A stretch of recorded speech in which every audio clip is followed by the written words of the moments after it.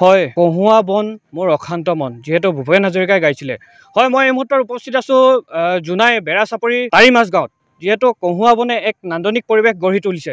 ইয়াতে মই কিছুমান যুৱতী আছে যিহেতু তেখেতলোকে ৰীল বনোৱাত ইয়াত ব্যস্ত হৈ পৰিছে।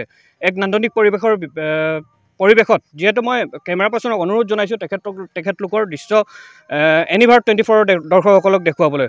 হয় যিহেতু ইয়াত কহুৱা বনে যিহেতু এক নান্দনিক পৰিৱেশ গঢ়ি তুলিছে তাৰি মাজগাঁৱৰ জোনাই তাৰি মাজগাঁৱৰ আহ, বেৰাচাপৰিত যিহেতু এক আহ, কহুৱা বনে আহিনৰ এক নান্দনিক পৰিৱেশ গঢ়ি তুলিছে। হয় ইয়াতে মই যিহেতু যুৱতীসকলক যিহেতু মই কিছু কথা পাতিবলৈ চেষ্টা কৰিম। হয় ভণ্টি ক'ৰ পৰা আহিছা? জনাই। জোনাইৰ পৰা আহিছা? ইয়াত কেনেকুৱা লাগিছে? কেনেকুৱা লাগিছে? ইয়াত আহি ভালেই লাগিছে।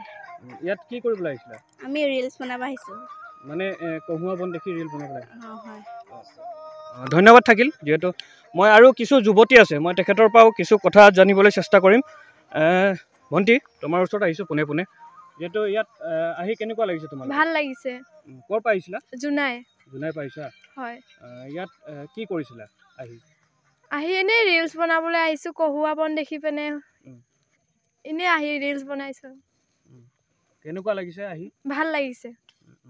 ধন্যবাদ থাকিল যিহেতু আৰু কিছু ভণ্টি আছে মই আৰু কিছু ভণ্টিৰ লগতো মই কিছু কথা জানিবলৈ চেষ্টা কৰিম। ভণ্টি তোমাৰ ওচৰলৈ আহিছোঁ যিহেতু পোনপটীয়াভাৱে কেনেকুৱা লাগিছে? বহুত ভাল লাগিছে। ক'ৰ পৰা আহিছা? আমি জোনাইৰ পৰা আহিছোঁ।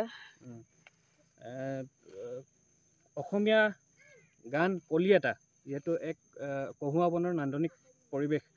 যিহেতু আহ, কলি এটা অসমীয়া কলি এটা গানৰ কলি এটা শুনিবলৈ তোমাৰ পৰা বিচাৰিম।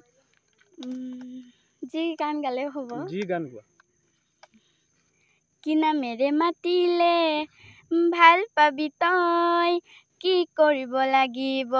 তোৰ হ'বলে মই। কি নামেৰে মাতিলে? ভাল পাবি তই।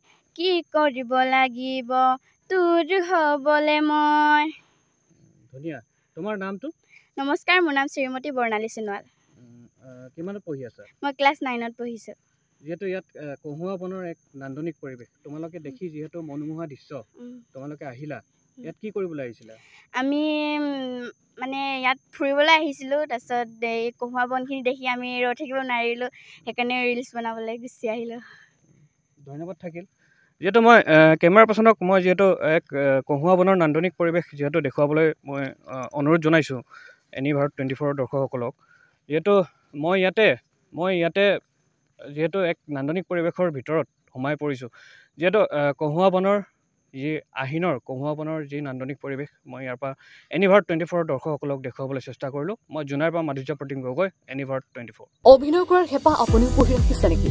আপোনাৰ অভিনয় কৰাৰ অভিজ্ঞতা নাই? কোনো কথা নাই। আপোনাৰ বাবে আহিছে সোণালী সুযোগ। ঊনত্ৰিছ ছেপ্টেম্বৰত দিনৰ ন বজাৰ পৰা নিশা আঠ বজালৈ বলিউড তথা হলিউডৰ চিনেমাৰ বাবে অডিশ্যন হ'বলৈ গৈ আছে গুৱাহাটীৰ কাহিলীপাৰাস্থিত জ্যোতি চিত্ৰবনত পাঁচ বছৰ বয়সৰ পৰা সত্তৰ বছৰ ব্যক্তিয়ে কৰিব পাৰিব অংশগ্ৰহণ। পঞ্জীয়ন হ'ব বিনামূলীয়া। নিৰ্দিষ্ট ৱেবছাইটত কৰিব পাৰিব আবেদন।